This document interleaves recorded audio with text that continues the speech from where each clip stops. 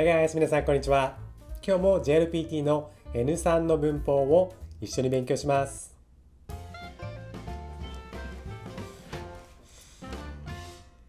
今日勉強するのは何々際にまたは何々の際に In English this is when you do something Let's take a look at how to make a sentence 何々際に or 何々の際に You can use the dictionary form or ta form of a verb plus 際に and also you can use a noun plus no 際に However, this is a very formal expression and it's used in forms, documents, professional settings, and announcements.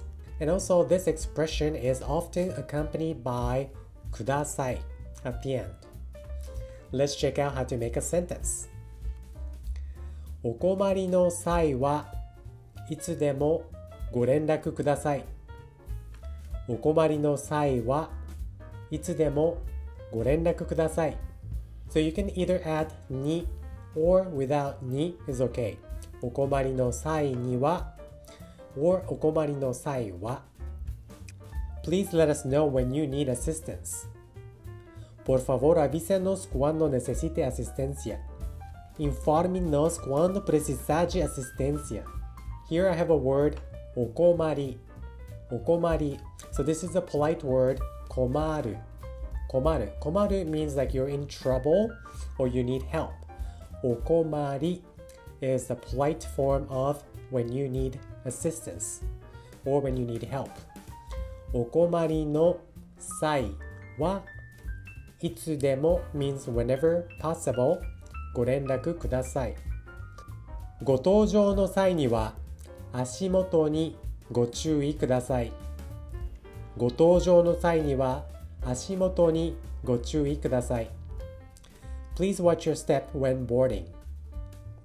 Por favor, observe su paso al abordar. Observe o seu paso ao embarcar. Ashimoto. Ashimoto means step or footing. Ashimoto. ご搭乗の際には means when boarding. ご搭乗 So you may hear this at the airport. 搭乗 means boarding but there's go at it to make it polite. ご搭乗の際には足元にご注意ください。So 注意してください means please be careful. But to make it polite, we add ご。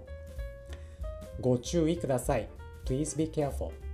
チェックインの際にはパスポートの提示をお願いいたします。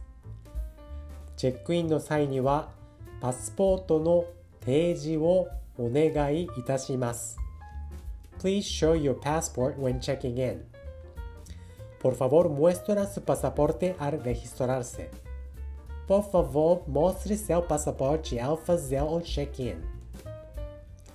提示提示 means to present something or to show something. 提示するチェックインの際には so when checking in パスポートの提示 so to show your passport お願いいたします。お願いいたします is the polite form of お願いします。お願いいたします。This makes it very polite. ご購入の際には印鑑をお持ちください。ご購入の際には印鑑をお持ちください。Please bring your signature stamp when purchasing. Por favor, traiga su sello de firma al comprar. Traga seu carimbo de assinatura ao comprar. Konyu. Konyu means to purchase or to buy. In Japan, when you buy something or when you sign a formal document, instead of signing a signature, we use something called inkan. So inkan is a stamp with your name. And when we use this name stamp, inkan, we use red ink and then stamp our name on formal documents. ここで働く際には身分証明書が必要です。ここで働く際には身分証明書が必要です。An ID is required to work here. Se requiere una identificación para trabajar aquí. Es necesario una identificación para trabajar aquí. 身分証明書 is ID in Japanese. 身分 means status. 証明書 means certificate. So those two words together, 身分証明書 means an ID. その際にはよろしくお願いいたします。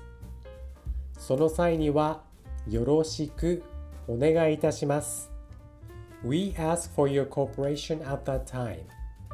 Le pedimos su cooperación en ese momento. Pedimos a sua colaboração naquele momento. その際にはよろしくお願いします。This is used in a very formal situation. This is kind of like when you shake hands. You know, you're saying, I'll be counting on you. Thank you in advance. その際にはよろしくお願いします。Okay, let's review how to make a sentence one more time.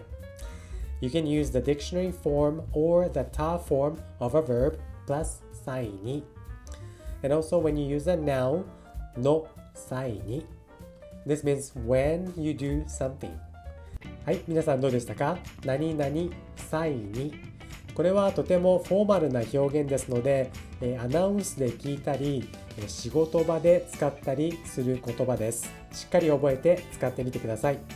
で皆さんも一つ例文を考えて下のコメント欄に書いてください。